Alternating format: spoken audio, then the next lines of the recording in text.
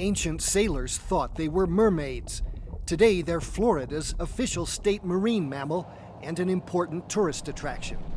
Their numbers have been on a slow increase for decades, and manatees could soon be removed from the federal endangered species list. An idea some manatee experts say should be treated with caution because these animals still face serious threats to their survival. The most obvious threat can be seen in the patterns of scars on the backs of many manatees, evidence of injuries from motorboats. State wildlife officials don't know how many manatees are injured this way every year.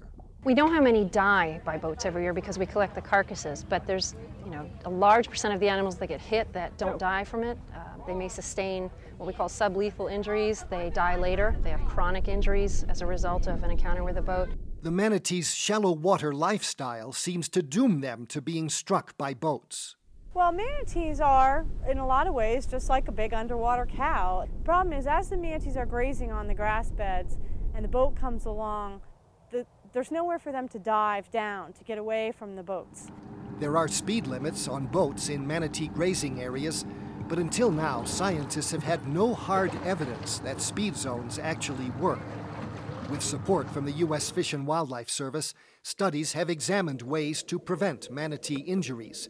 Researchers from the nonprofit Wildlife Trust have observed manatees for several years, both before and after the boating speed limits were put into effect. We actually see a fairly high number of what we call interactions, which is a boat either coming by close, passing by, traveling. Sometimes we even see boats approaching manatees because they realize that the manatee is there.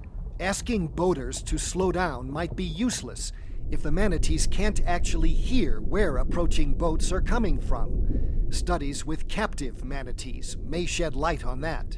Today, specifically, is an experiment that's uh, looking at the ability of manatees to localize sound underwater. This manatee gets a reward every time it successfully identifies the direction of sounds played through underwater speakers and there is concern, uh, one, over whether they can hear the boats, and two, if they can hear them, can they localize them? Answers to these basic questions may help devise new regulations needed to protect these unique marine mammals, allowing them to continue increasing their numbers. For This American Land, I'm Gary Stryker.